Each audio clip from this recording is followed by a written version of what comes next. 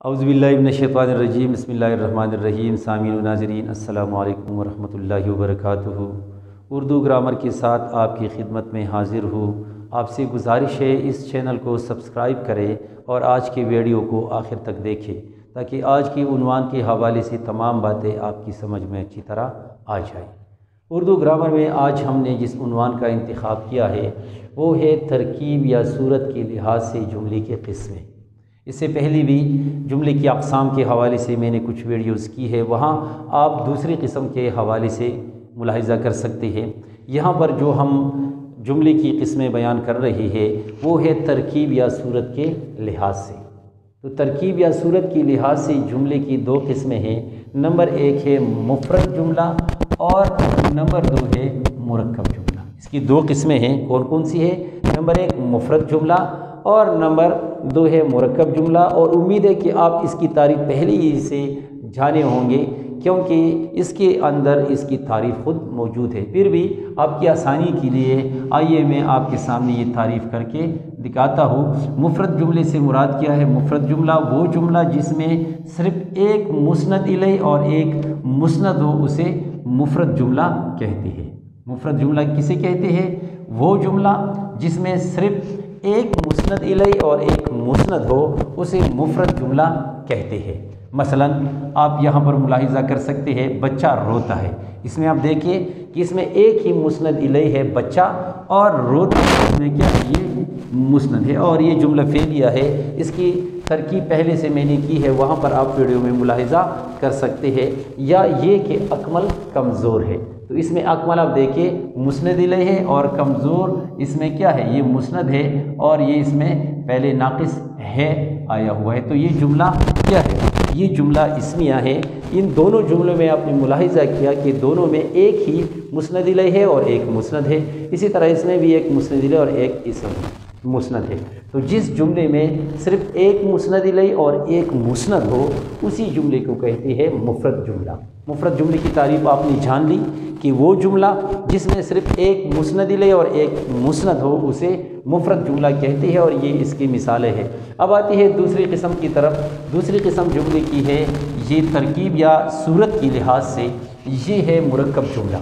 मुरक्कब जुमला किसे कहते हैं? तो जब दो या दो से ज़्यादा जुमले आपस में मिलते हैं और उनसे एक ही जुमला बनता है। यानी दो जुमले जब आपस में मिलते हैं और एक ही मफहूम की खातिर वो जमा हो जाते हैं तो ऐसे जुमले को कहते हैं मुरक्कब जुमला। मसलन, यानी इसका मतलब ये है कि दो या दो से ज़्यादा मुफरत जुमलों के मिलने से मुरक्कब जुमला बनता है। इसकी ये तारीफ़ भी आप कर सकते हैं।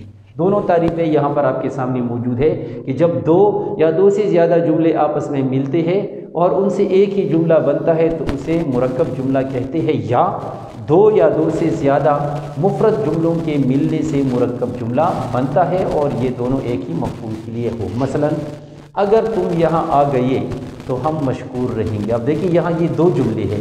ये एक मुफरत जुमला है और ये। अगर तुम यहाँ आ गए, ये अलग एक मुफरत जुमला है तो हम मशकूर रहेंगे, ये अलग क्या है? ये अलग मुफरत जुमला है। तो जब ये दोनों जुमले बन गए तो आपने मुलाहिजा किया कि ये दोनों एक ही मफहूम के लिए आए हुए हैं। तो इसी तरह इसको कहते हैं मुरक्कब जुमला। आपने मुरक्कब जुमले की मिसाल और तारीफ़ मुलाहिजा की।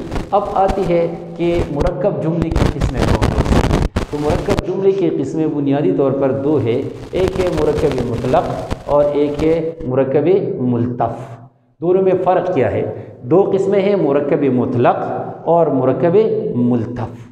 आइए पहले मरकब मुतलक के बारे में जानते हैं कि मरकब मुतलक से मुराद क्या है। तो मरकब मुतलक से मुराद, वो मुरक्कब जुमला जिसमें हर मुफरत जुमला अलग अलग या जुदागाना हैसियत रखता है।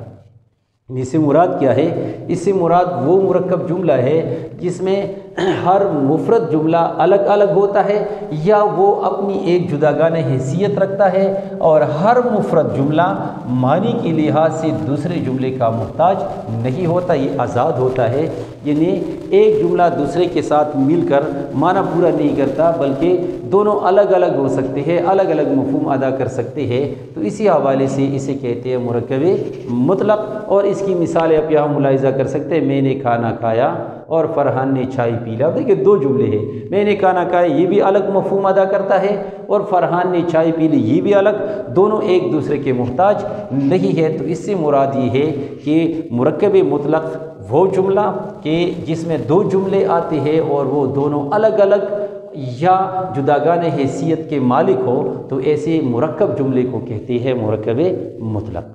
अब दूसरी किस्म की तरफ़ आती है मरकब मुलतफ़। तो मरकब जुमले की दूसरी किस्म है मरकब मुलतफ़। इससे मुराद क्या है? वो मरकब जुमला जिसमें एक जुमला असल होता है और दूसरे जुमले इसके मातहत होते हैं। यानी इसके साथ अगर एक या एक से ज़्यादा जुमले आए हो तो इसके मातहत होते हैं और जब झीली जुमला असल जुमले के साथ मिलाकर इस्तेमाल नहीं किया जाता, उस वक्त तक मतलब पूरा नहीं होता। मतलब ये कि एक जुमला दूसरे का मोहताज होता है और ख़ास कर जो मातहत जुमले होते हैं, वो असल जुमले के मफहम को पूरा करने के लिए आते हैं। तो इसीलिए इसे कहते हैं मरकब मुलतफ़। और इसकी मिसालें आप मुलाहिजा कर सकते हैं, मसलन, वो पन का जो आहिस्ता चलता था, अब तेज़ चलने लगा है। ये मिसाल आप गौर से देखिए। वो पन का जो आहिस्ता चलता था, अब तेज़ चलने लगा है। इसमें अब देखिए, इसका मतलब ये है कि वो पन का अब तेज़ चलने लगा है। ये असल जुमला है। वो पन का अब तेज़ चलने लगा ये असल जुमला है और इसके साथ जो जुमला आया है, जो आहिस्ता चलता था, ये झीली जुमला है और ये इसके मफहम को पूरा करने के लिए आया हुआ है। तो आपने मुलाहिजा किया कि मरकब मुलतफ़ किसे कहते हैं और इसकी मिसालें, तारीफ़ें भी आपने मुलाहिजा की। तो आज के उनवान के हवाले से कि तरकीब या सूरत के लिहाज से जुमले की कितनी किस्में हैं, इसी हवाले से आज आपने पूरी तफसील मुलाहिजा की।